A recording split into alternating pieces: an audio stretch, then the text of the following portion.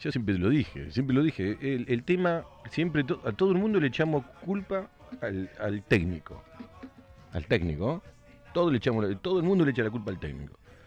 Pero si, a vos, si vos, sos, sos el técnico, por eso yo no quiero ser técnico porque sé cómo son los dirigentes. Si vos sos técnico y vos venís con tu idea, táctica, todo lo que vos quieras, vos pedís jugadores, ¿no? Para ver qué, qué tenemos, qué tenemos que enfrentar.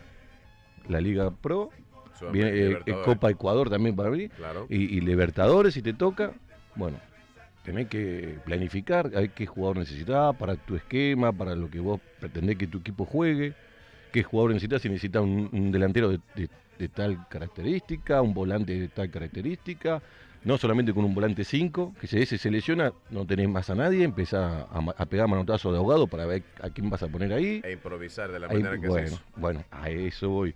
Entonces, y todos, después cuando los resultados no dan, cuando el resultado quedas afuera de una etapa, cuando el resultado quedas afuera de una Copa Libertadores, ojalá que no quede en esta parte, pero ponele que no llegues a nada importante, al primero, al primero que le, le- le echan la culpa es a- al, al técnico.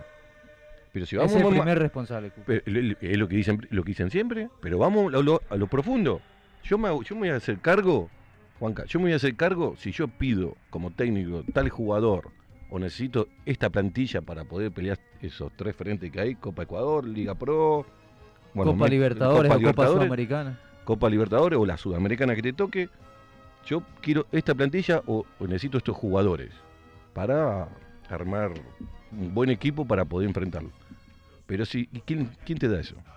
El Los dirigente. dirigentes, ¿no? Claro. Dirigente. Pero si los dirigentes te traen jugadores que están agarrados con, con los mismos representantes que siempre hacen la con los mismos representantes que siempre hacen lo- los movimientos Sí, sí te y, entiendo. lo- y los representantes vienen y te meten los jugadores ¿entendés?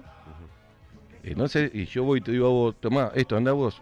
Y yo, y por eso no quiero ser técnico, porque yo no me voy a, yo no me voy a dejar que me maten a mí por vos. Porque vos sos el que me está armando el Claro, o sea, Eso es yo- exponer tu yo trabajo, voy Cookie. Eso Claro, es exponer el eh, trabajo eh, pero se, pues se ponen, se exponen de esa manera porque capaz porque quieren trabajar y quieren cobrar. O sea, lo que tú yo puedes- no lo- pretendo lo- eso, lo- yo, pre- yo pretendo armar un equipo yo. Y si yo me equivoco, sí, que me Claro, insulten, que me digan lo que quieran y, y el acepto. Pero lo armaste a tu antojo y, su- y según necesidad y, si no me, y si no me funcionó, y si no funcionó como yo lo trabajo, como lo el trabajo mío, porque me quieren echar porque las cosas no dan los resultados, yo me hago vas. cargo. Pero no me voy a hacer Mm. cargo por otro que me dan, en vez de una guerra que te, te tienen que dar un fusil, te tienen que dar una ametralladora y te dan no, te un tenedor, y después me voy a comer yo un insulto o me quieren matar a mí por tu culpa, ¿no? O sea, Yo- o sea, o por sea, eso lo yo que no puede estar pasando con MLE es que eh, Rescalvo no tiene el 100% de lo que necesitaba, sino de lo que entre Rescalvo la dirigencia le impuso en algún momento. le- si traen los dirigentes los jugadores. Los dirigentes traen los Lo traen, jugadores. sí, De- definitivamente. dame, yo estoy hablando del día que yo llegué, nunca hubo un, un técnico que que pidió un jugador y se lo trajeron, nunca. Siempre lo trajo la dirigencia. Siempre fue la dirigencia.